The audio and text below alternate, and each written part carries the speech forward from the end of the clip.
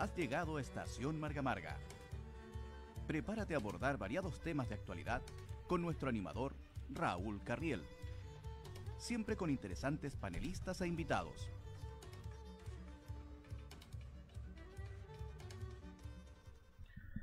¿Qué tal? ¿Cómo están? Bienvenido al segundo bloque de Estación Marga Marga. Eh, esta sección que se llama Cono- Conoce el candidato.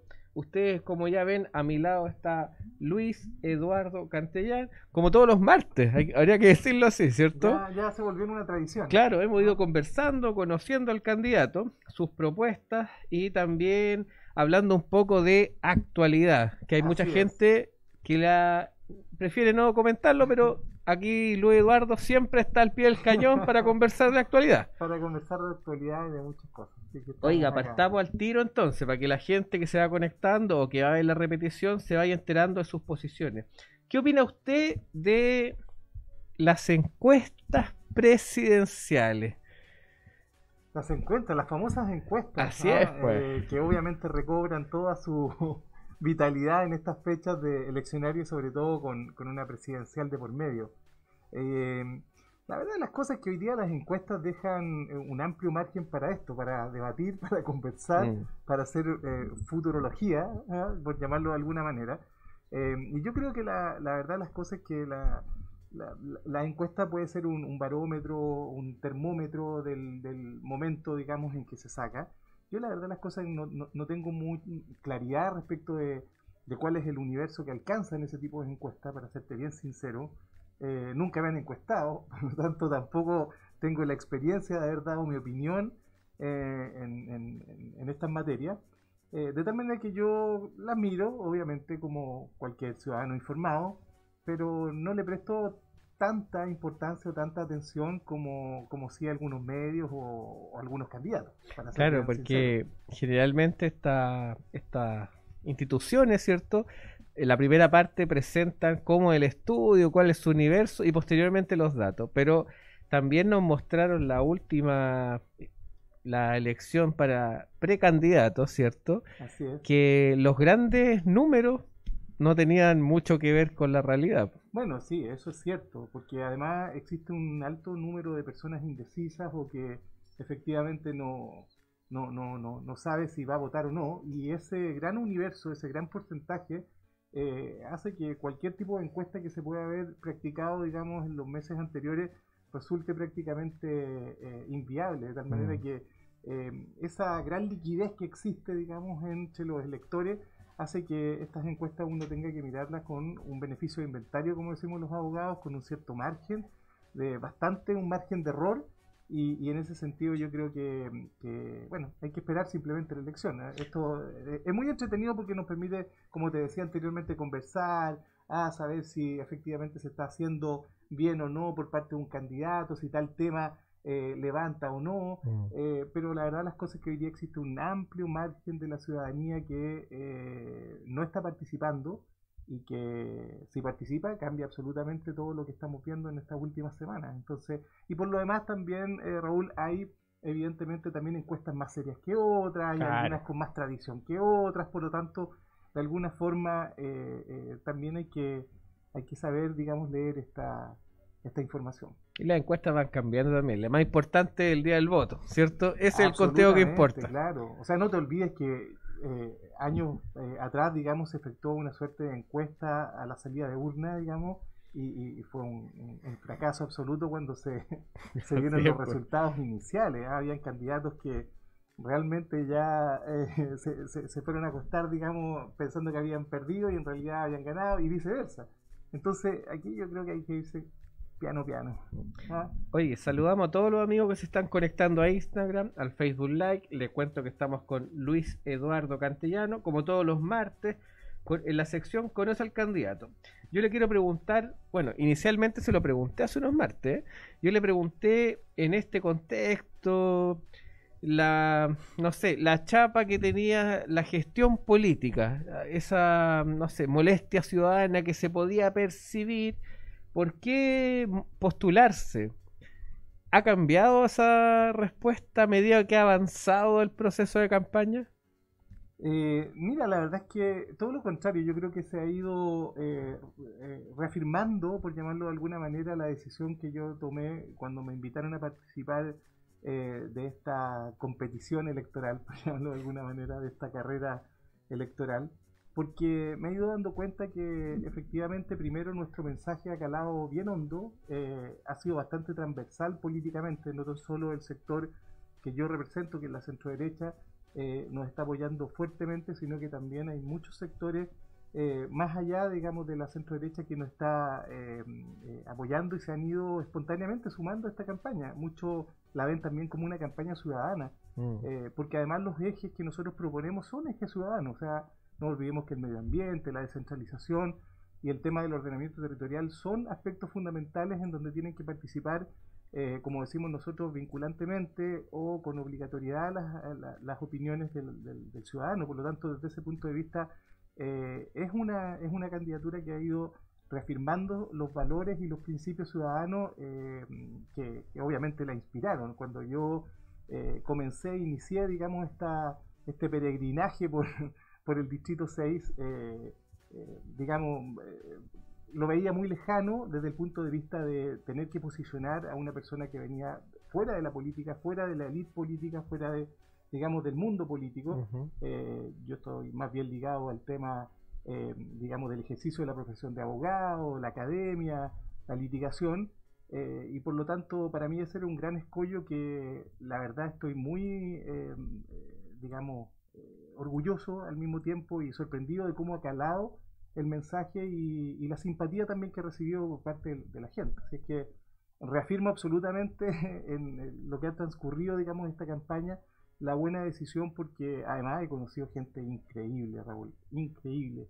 Eh, gente que, que, realmente se vuelca con una pasión eh, el desarrollo, digamos, de estos aspectos que a mí me conmueve. De hecho, vengo desde eh, una agrupación de adultos mayores en Quilpué, la Villa Olímpica, por eso me retrasé un poquito y, las disculpas del caso. Eh, además que me puse la tercera dosis, entonces ando un poquito más lento. Ah, ya. Estoy sufriendo ya las consecuencias de los efectos de la vacuna. Eh, eh, oye, gente, digamos, adultos mayores, llenos de vida, de, llenos de alegría, con anhelos, con sueños. realmente yo salgo revitalizado, digamos, con, esa, con esas reuniones. Muchas veces una, una, oncecita muy rica y por lo tanto podemos compartir. Muchas veces se piensa que el adulto mayor no está pensando en la ciudad o en la ciudadanía, ¿cierto? Y no es así, ellos están muy metidos. No, es increíble, o sea, de verdad me contaban lo, lo, lo duro que lo, que lo pasaron en la pandemia, o sea, mm.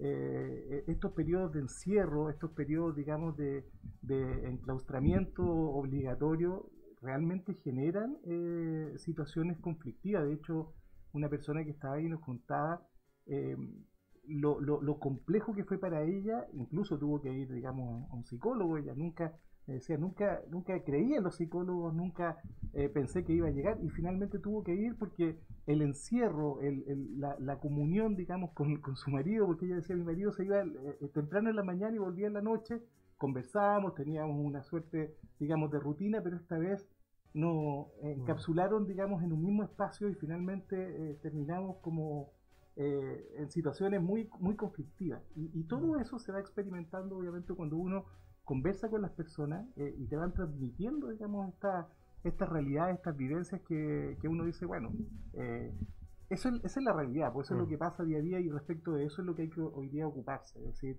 si pensamos eventualmente, como están subiendo algunos, algunos índices, digamos, de contagio, tenemos que pensar si efectivamente el, encapsulamiento, el, tema del confinamiento, eh, es la solución o, simplemente es, es, parte, digamos, de, una cuestión mucho más global. Si usted tuviera que más o menos medir cómo ha sido su esta experiencia, ¿la califica con dedo arriba? Sí, totalmente, totalmente.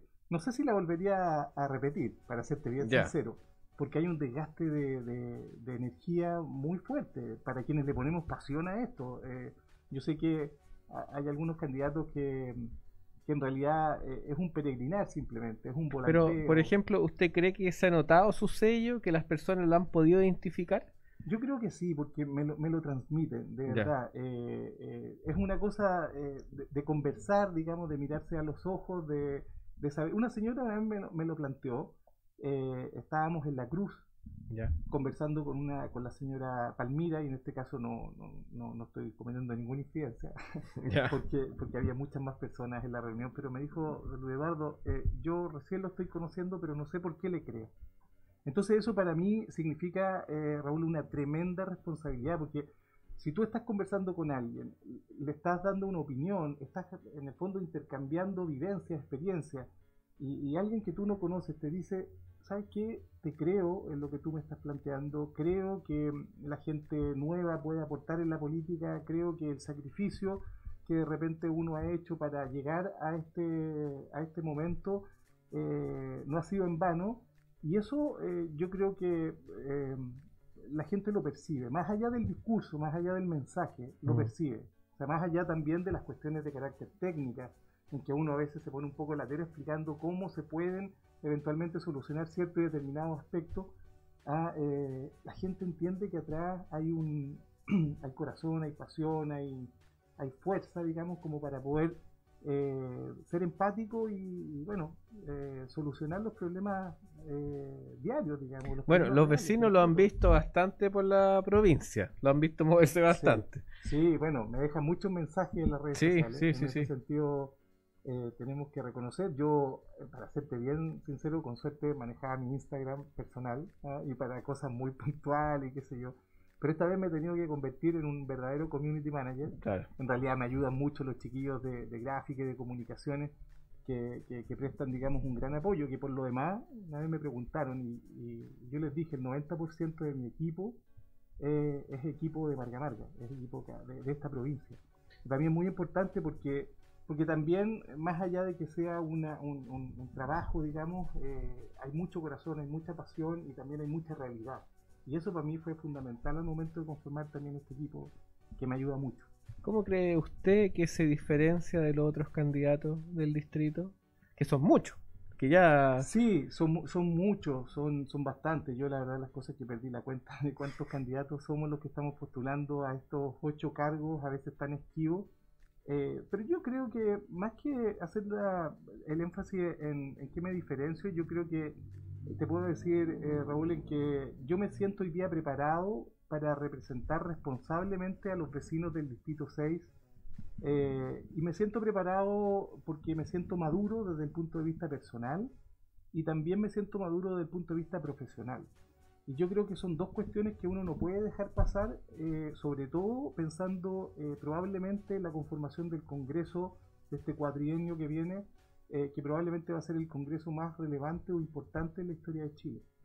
Y, y por eso es que yo ya hago un llamado, digamos, a los, a los vecinos a, a, como digo yo, a pesar al candidato, ¿ah? a, a saber, digamos, que, eh, a, identificar al candidato en términos, digamos, de, de su experiencia, de qué es lo que ha hecho, de qué es lo que sabe, en qué se ha preparado, por qué debería estar en el Congreso representando, digamos, al vecino de Quilpué o al vecino, digamos, de eh, Petorca o al de San Felipe los Andes. Eh, saber cuáles son las ideas, porque en el fondo, Raúl, esto es un debate de ideas. Y lamentablemente lo que, lo que yo eh, no he visto acá son discusiones en términos de ideas. Veo mucho volanteo, veo mucho cartel, que obviamente es importante y parte de, hacerlo, pero no es es una todo, campaña claro. para darse a conocer. Pero detrás de eso, ¿qué es lo que hay? Y eso es lo que yo invito a los vecinos a darse cuenta, a visitar, digamos, los portales web, que en el caso nuestro es, cono- eh, perdón, es eh, conbuenambiente.cl, eh, que está apareciendo ahí. Sí, siempre Eh, abajo, siempre abajo. Exactamente, con buenambiente.cl, en donde tenemos al menos tres ejes que nos diferencian profundamente eh, del resto, porque tenemos propuestas serias, concretas, analizadas y, y algunas de ellas también puestas en, en práctica en, en otros lugares. Por lo tanto, desde ese punto de vista, creo que esa madurez eh, me da absolutamente un background importante para poder yo prese- representar a los vecinos del Distrito 6 con total entereza eh, y con total, digamos, eh, responsabilidad, con, con- con- con un sentido de la responsabilidad que para mí es súper, súper importante. Bueno, Luis Eduardo, usted es de la zona, ¿cierto? Ha estado inmerso en diversas causas medioambientales también, ha tenido Sí. trabajos con comunidad. Sí. ¿Eso a usted lo ha nutrido para poder llegar a esta instancia? Sí, por supuesto, porque como, como te planteo, eh, para mí el Distrito 6 no era un distrito desconocido. Yo soy de acá, eh, eh, nacido y criado, como dicen por ahí. y, por lo tanto yo lo he recorrido mucho como, como profesional. Yo en mi oficina generalmente, eh, si bien soy, eh, eh, digamos, parte del equipo senior en, términos, digamos, de, de la me gustaba mucho salir a terreno y yo creo que ese es uno de los aspectos que caracteriza también la forma en que, a mí me gusta prestar mi asesoría profesional. Y en el caso de, la candidatura o de la diputación no fue distinto, porque Em, para mí fue mucho más fácil acercarme a la gente, conocer el problema, conocer, digamos, la realidad de la zona en la que eh, estamos visitando y eso me ha llevado efectivamente, tanto en mi oficina personal, ahora en la Diputación, en la candidatura a la Diputación, eh, saber dónde están los énfasis y dónde hay que apretar el acelerador, porque eh, muchas veces cuando uno delega esas funciones, delega en otra persona, eh, claro, por más confianza que exista, no va a tener la misma visión de, haber estado ahí, de haber palpado, de haber compartido con la persona y de haber visto, digamos, eh, la realidad del problema. Y yo creo que eso es un, es un gran antecedente que, que bueno, que, yo un poco lo traigo desde mi escuela un poco profesional mm. eh, de ejercer, digamos, mi, mi, labor de, abogado. Luis Eduardo, usted tiene un eje programático, ¿cierto? Que se puede ver claramente en su página web. Eh, son tres, pero también usted, a medida que hemos ido conversando, ha ido postulando algunas propuestas. Eh, le voy a preguntar algo que no es muy simple de explicar, por eso le doy la instancia, porque usted propone ampliar el derecho a la legítima defensa más relacionado, por decir, a cuidar el local comercial, en la en la coyuntura que hemos vivido las últimas semanas. Expliquen un poco de eso porque a veces la gente se pierde en estas discusiones y detrás de todo esto hay personas. Entonces, le, dejo... Bueno, mira, eso, eso es una idea que nosotros hemos instaurado a lo largo eh, de, precisamente del conocimiento de, las distintas capitales provinciales, fundamentalmente. Mm. Em, y, a, partir, digamos, de, de los hechos ocurridos este 18 de octubre, Em, que se fueron efectivamente reforzando esas ideas. Eh, fíjate que em, eh, en esta, eh, digamos, conmemoración que llaman algunos, que para mí no lo es, del 18 de octubre pasado, se provocaron nuevamente destrozos, actos vandálicos, actos delictuales, incluso yo diría actos de terrorismo, porque el terrorismo es causar miedo, causar temor y finalmente a través de esa vía em, conducir, digamos, a la gente a una determinada posición. Y eso, eso lo, volvimos a ver el 18 de octubre. Y, quienes más sufrieron esa, esa, situación son los locatarios, son las personas que han invertido muchas veces eh, su patrimonio. ¿ah? A, veces, digamos, hay generaciones de familias que han estado, digamos, en el mismo local y de la noche a la mañana con estas eh, protestas, con estas eh, manifestaciones violentas y vandálicas, terminan perdiéndolo todo. Y la legislación actual a diferencia, digamos, si a ti, por ejemplo, te asaltan en tu casa, tú tienes la posibilidad de defenderte proporcionalmente para evitar efectivamente de que te puedan agredir tu propiedad privada, incluso tu vida personal o de tu familia, eh, no la tienen los locatarios. ¿ah? Eh, o está muy reducida desde el punto de vista de la legislación actual, de la legislación penal.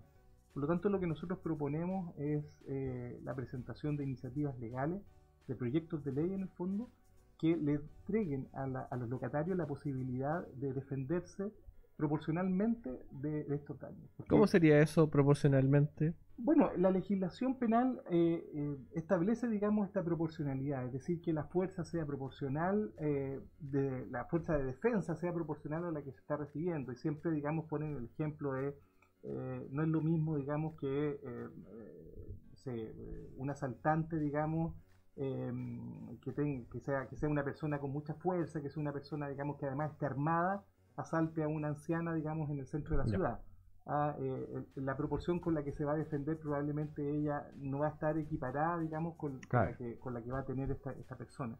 Eh, y además con los medios que emplean para ello. O sea, no nos olvidemos que en el caso del 18 de octubre hubo muchas personas, y lo hemos visto por todos los medios tradicionales y redes sociales, en que utilizaban acelerantes, utilizaban, digamos, eh, una serie de, elementos, eh, bombas molotov, que, tenían por objeto no tan solo causar daño, sino que también eh, incendiar. Y el delito de incendio es un delito específico establecido en nuestra legislación. Por lo tanto, la proporción tiene que ver con la entidad del daño, con la entidad, digamos, de, de, la manera y la forma en que se causa versus la respuesta que tú tienes para poder defenderte. y esta, esta propuesta también nace por la conexión que ha tenido con los locatarios, las conversaciones. ¿Cómo se sienten ellos? ¿Un poco desamparados? Bueno, no tan solo desamparados, sino que se, se sienten absolutamente, eh, digamos, el arbitrio de, la delincuencia y en este caso de los grupos organizados, porque no vamos a decir de que las personas que manifiestan o que se manifiestan, digamos, de esta manera, eh, a través de, de estos actos vandálicos,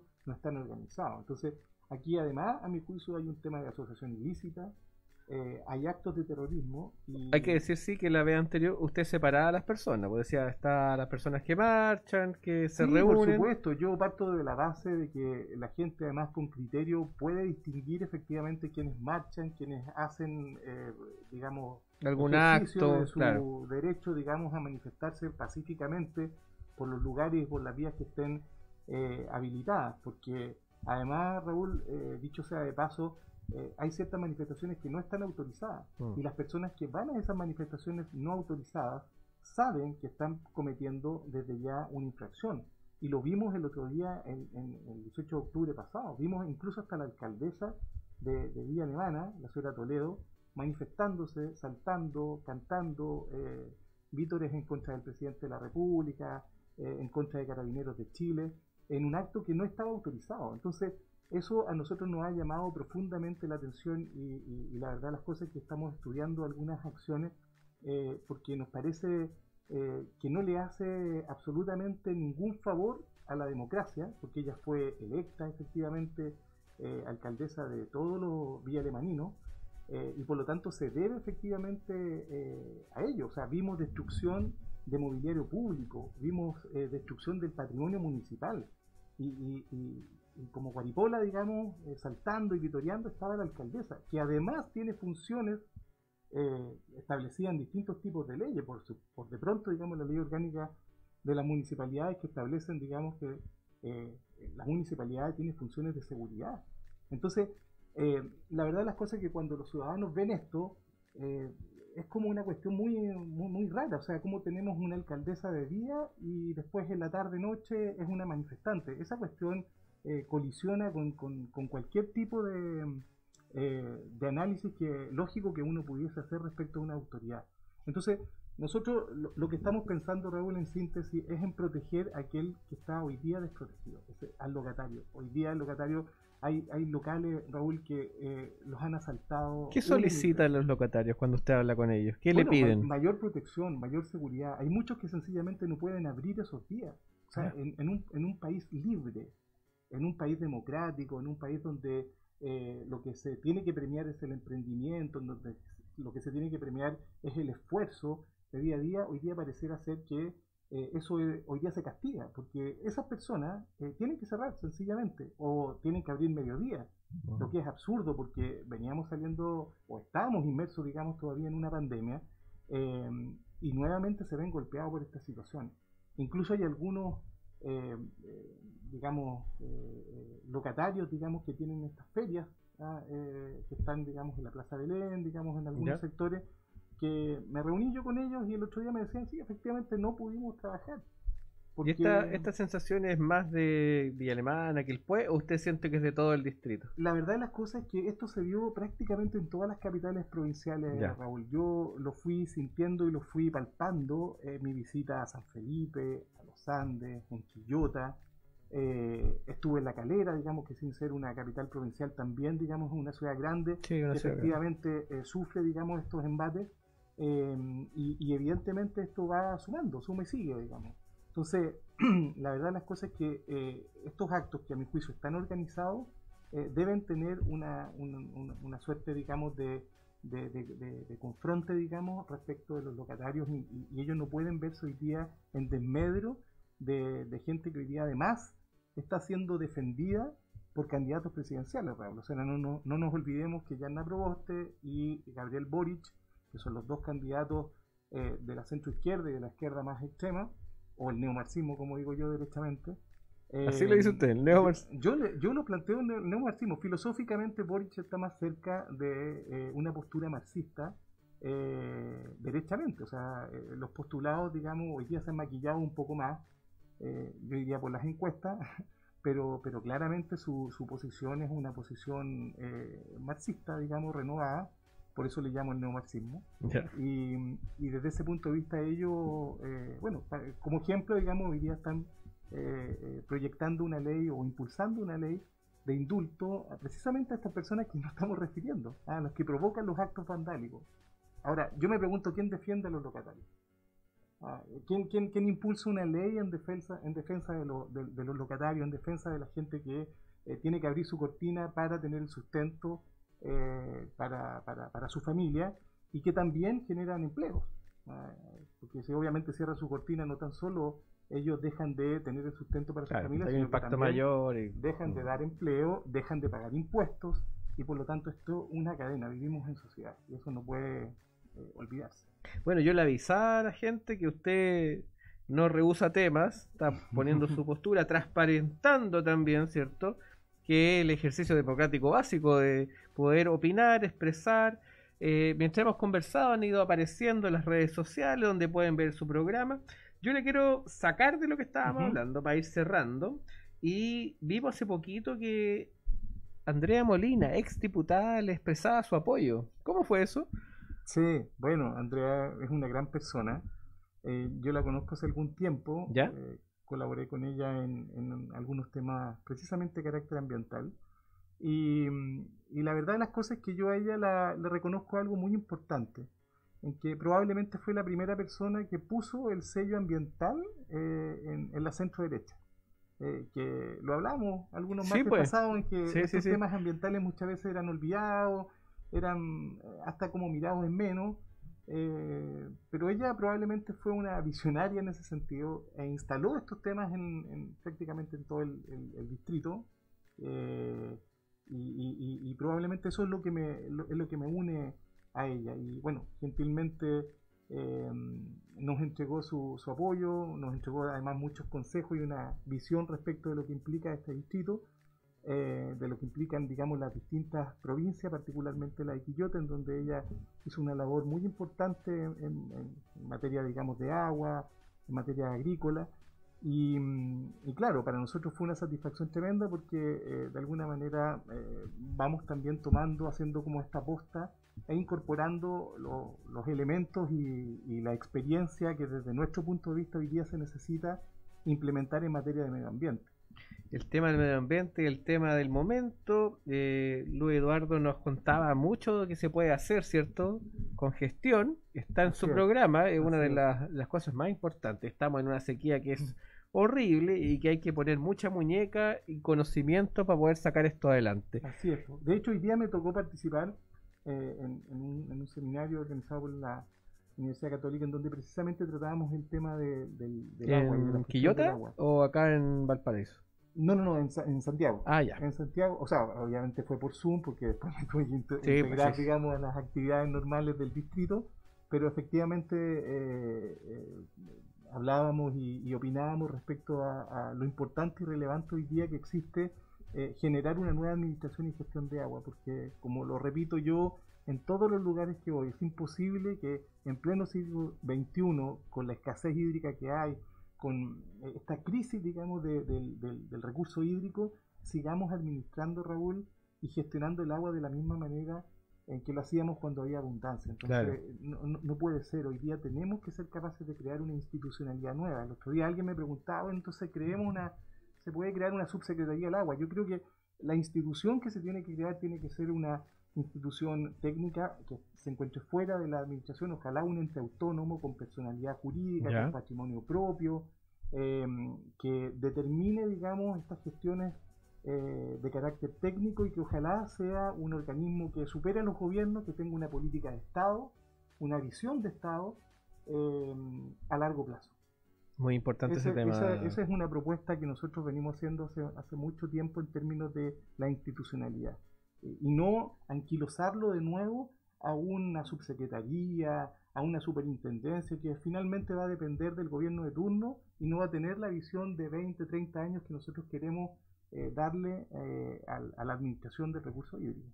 Oiga, aprovechemos, le dejo las cámaras para que se comunique, pues se ponga en contacto con los ciudadanos que están con los ojos muy abiertos. Usted sabe que son momentos, como dice usted, históricos, cruciales, y no es una simple elección esta. Entonces, Claro. le dejo ahí para que... Bueno, como, como yo les planteaba, probablemente el Congreso que se va a elegir eh, ahora el próximo 21 de noviembre va a ser el Congreso, el Parlamento más importante, digamos, en la historia de nuestro país. Y para eso necesitamos gente preparada en todo sentido. Gente con experiencia, gente que tenga una madurez personal, una madurez profesional, que tenga la película muy clara, que además venga con mucho contenido, porque hoy día se requiere efectivamente soluciones específicas a temas concretos eh, en un distrito que es muy grande, que yo de alguna manera transformo esa complicación en una oportunidad porque creo que las soluciones que de alguna manera se puedan dar para un tema pueden ser aplicadas efectivamente en toda esta macrozona del distrito 6. Yo vengo con muchas ganas, de hecho mío hay un equipo local, eh, yo soy local y- y- y por lo tanto me siento parte, digamos, de, de los problemas que hoy día también eh, existen, pero también al mismo tiempo me siento parte de la solución porque lo hemos estudiado, porque le hemos dedicado tiempo a, a- a trabajar en las soluciones del, del- del tema. El otro día, Raúl, y con esto eh, voy terminando, me tocó grabar La Franja, ¿Ya? y el lugar que yo elegí para grabar mi espacio de franja eh, fue en la comuna de Quintero. Porque yo lo que planteo finalmente es que Quintero y Puchuncavilla tienen que dejar de ser considerados como las zonas de sacrificio. Mm. Y para eso es importante llevar a parlamentarios nuevos, a parlamentarios con contenido que realmente tengan gestión para que efectivamente Quintero y Puchuncavilla dejen de ser zonas de sacrificio. Yo tengo grandes amigos allá y hay una sensación de abandono. Absolutamente, absolutamente. Todos me decían, pero ¿cómo te vas a ir a meter? ahí?". Mira, a mí me gustan los desafíos. Y cuando yo le digo a la gente de Quintero Puchuncaví que el problema no se soluciona con evaluaciones ambientales, no se soluciona con temas de maquillaje, y sí se soluciona con- con- con- con ordenamiento territorial, con participación ciudadana, con legitimación activa, quedan como, bueno, tal vez, sí, puede ser. Entonces se puede ser, hay que darle una, una oportunidad, un empujoncito este 21 de noviembre. Ya, pues ahí todos los amigos le dejamos las redes sociales abajito para que puedan conocer más al candidato, el programa y nos estamos viendo. Viene ahora, pegadito, Departamento Legal, Abogadas. Nos vemos, que estén muy bien. Tchau.